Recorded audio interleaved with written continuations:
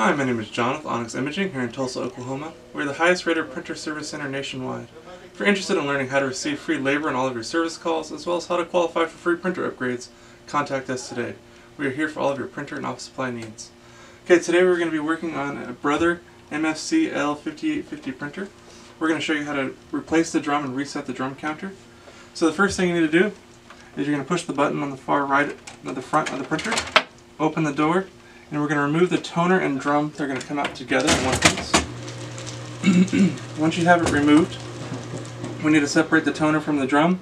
To do that, you push down on the little green tab that's on the side of the drum. And you can lift and rotate the toner right out of it.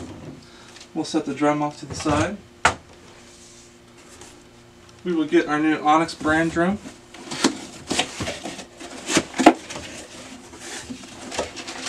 Inside of every Onyx brand drum there are written instructions that walk you through how to replace the drum.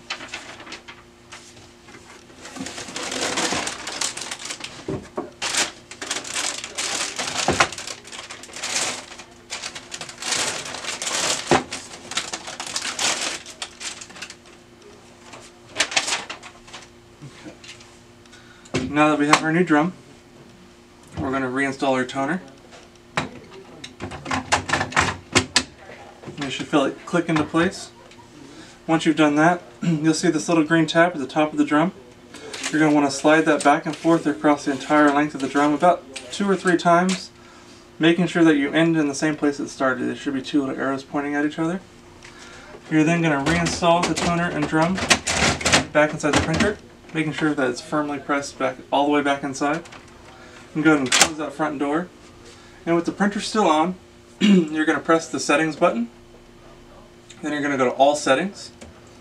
Machine Info is going to be the next button. And then you'll see one that says Parts Life. Once you see get down to Parts Life, you'll see one that says Drum. You're going to press and hold Drum.